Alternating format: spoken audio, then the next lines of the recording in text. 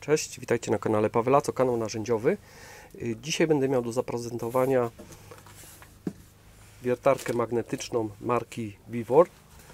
Y, Dziękuję Marce za udostępnienie tej wiertarki w celu prezentacji. Także zobaczymy jak ona działa, jak ona pracuje. Jest to wiertarka magnetyczna. Link do tej wiertarki będzie w opisie pod filmem. Można zobaczyć również na inne narzędzia. Mają bardzo dużo różnych specjalistycznych narzędzi, także bardzo ciekawe narzędzie. A jeżeli ktoś będzie zainteresowany taką wiertarką magnetyczną, to kod będzie pod filmem. Można go po prostu użyć i otrzymamy 5% zniżki na zakup takiej wiertarki magnetycznej. Zbiornik na płyn chłodzący. Dodatkowo tutaj mamy pudełko.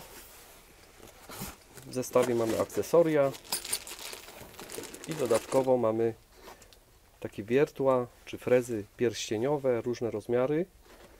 Mamy ich raz, dwa, trzy, cztery, pięć, sześć, siedem, osiem, dziewięć, dziesięć, je- 11 sztuk i na każdym pudełeczku mamy podane rozmiary 12, 13, 15, 16, 18, 20, 21, 23, 24, 26, 27. To są średnica wierteł. Największe mamy właśnie Fi 27. To są takie wiertła pierścieniowe ze stali HSS. Również tutaj mamy podane wymiary.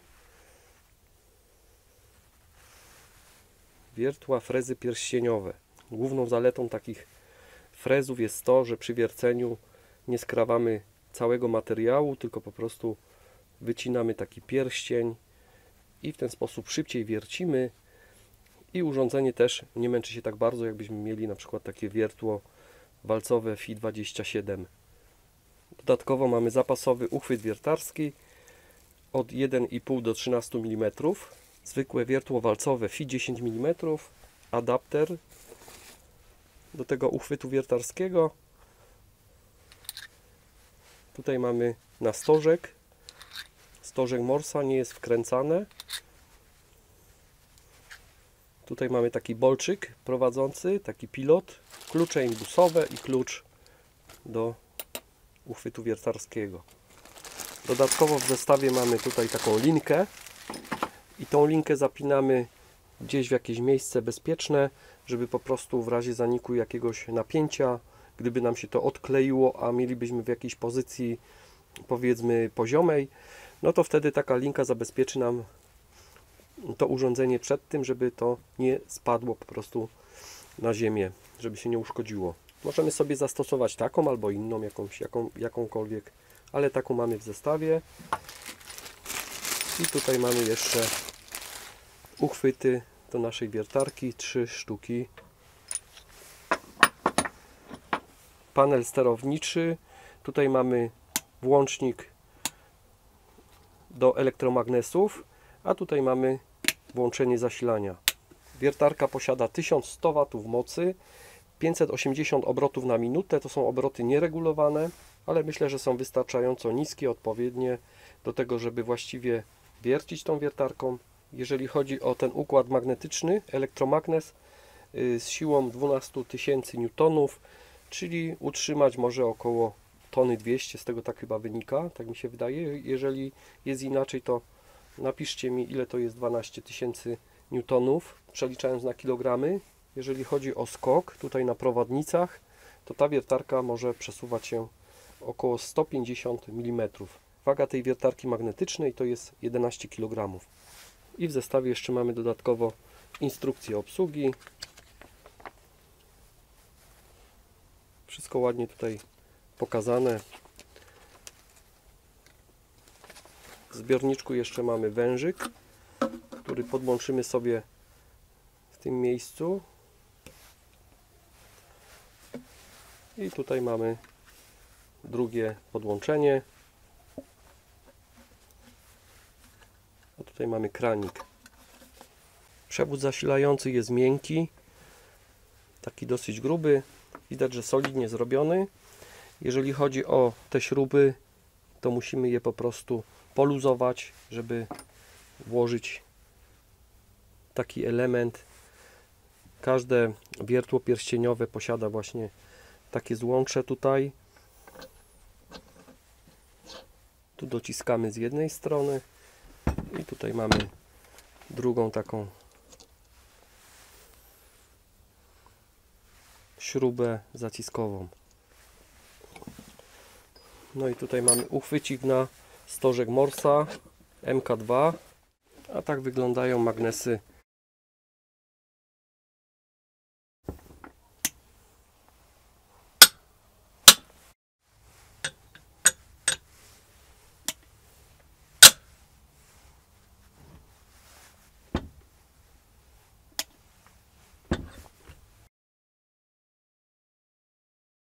korpus tej wiertarki oraz ta prowadnica tutaj co jest.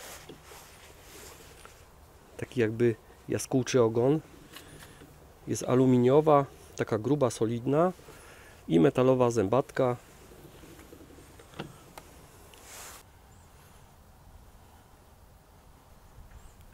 Najpierw zastosujemy zwykły uchwyt wiertarski i będziemy wiercić wiertłem walcowym.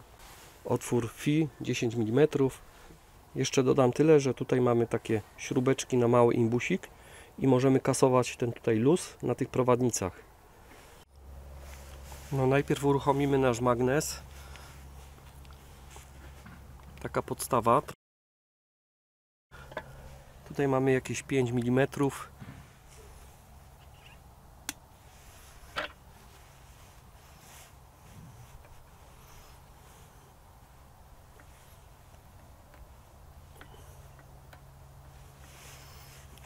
Trzyma mocno.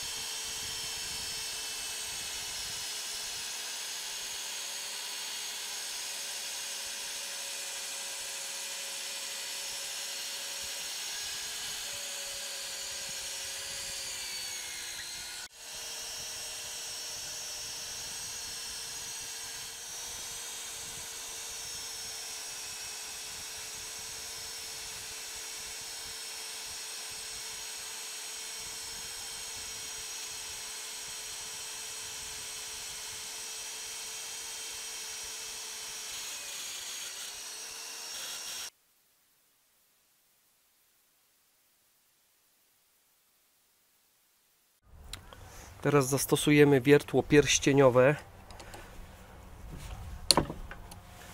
Tutaj mamy nieprzymocowane jeszcze, ale możemy sobie o, zobaczyć jak to trzyma mocno. Tutaj mamy taką grubą blachę. Tu jest około 10 mm grubości tej blachy i weźmiemy najmniejsze wiertło pierścieniowe z zestawu FI 12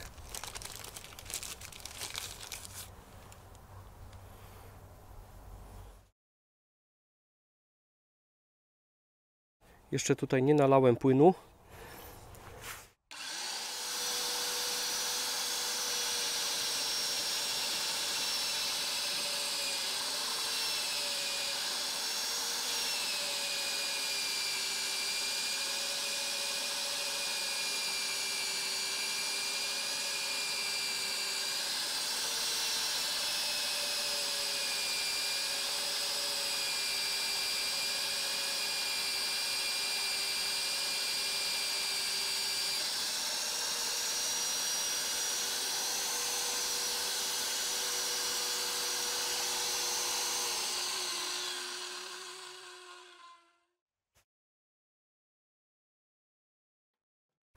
bardzo szybkie wiercenie Wam powiem i po prostu o wiele szybciej i łatwiej niż wiertłem walcowym.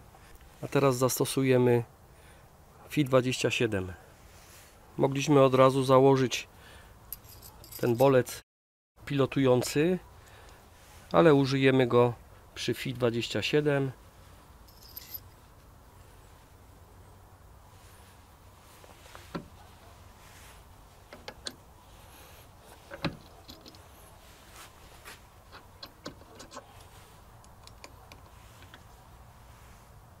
maksymalne wiertła jakie tutaj możemy zastosować to jest FI 40 mm czyli o wiele więcej niż tutaj mamy w tym zestawie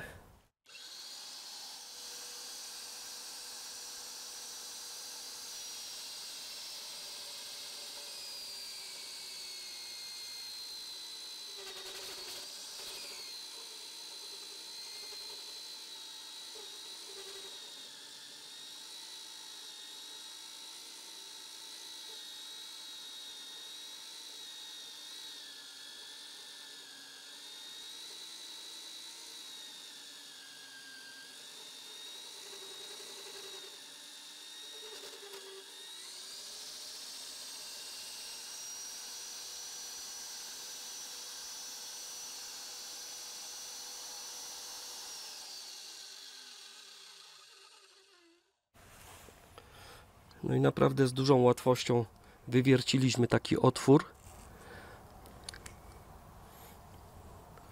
W ogóle nawet nie czułem takiego dużego obciążenia tutaj przesuwając w dół całe to wrzeciono z wiertarką.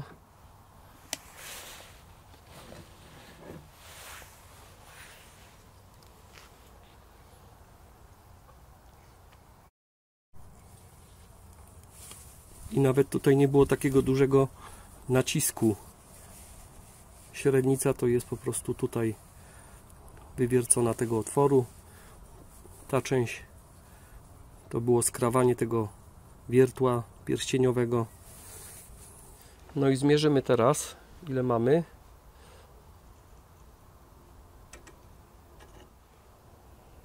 I dokładnie mamy fit 27 mm. Teraz zastosujemy takie wiertło fi 16 mm.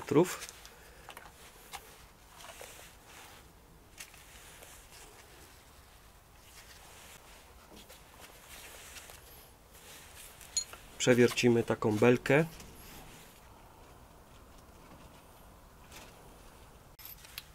A tutaj mamy takie ścięcie na tym bolcu pilotującym. Po prostu, żeby olej tutaj spływał przez ten otwór i tutaj do tego ostrza.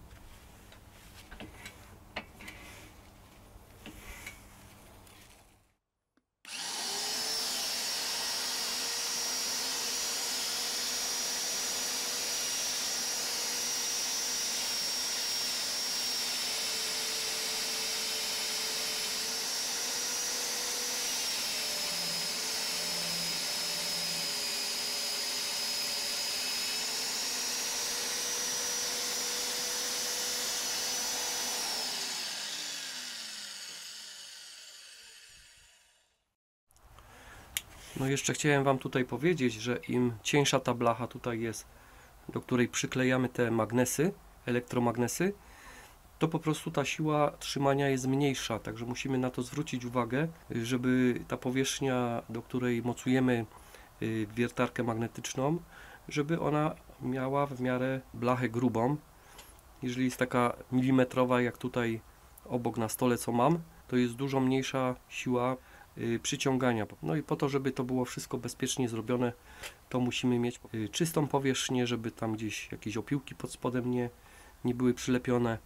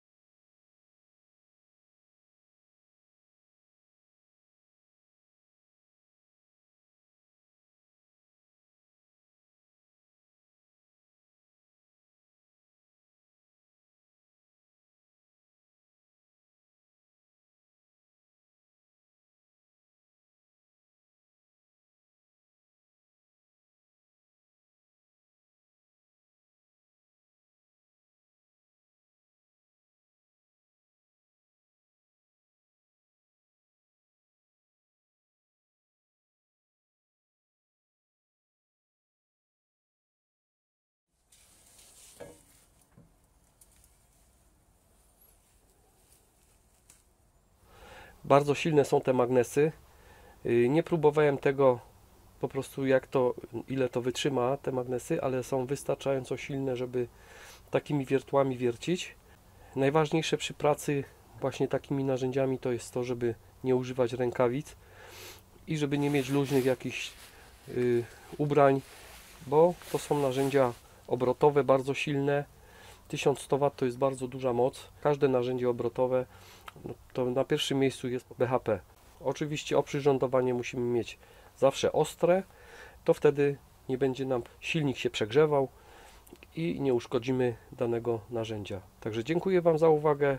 Ja jestem przekonany do takiej wiertarki, bo ona jest po prostu dosyć lekka, można ją przenosić, taka mobilna, no ale musimy mieć podłączenie do sieci i możemy ją stosować w pionie, w poziomie, gdzieś nawet do góry nogami, stosując oczywiście zabezpieczenie, żeby nam nie spadło na głowę, gdy y, zabraknie nam zasilania. Wybije nam esy i wtedy nam może spaść, dlatego mamy dodatkowe zabezpieczenie. Także siemaneczko, trzymajcie się, cześć.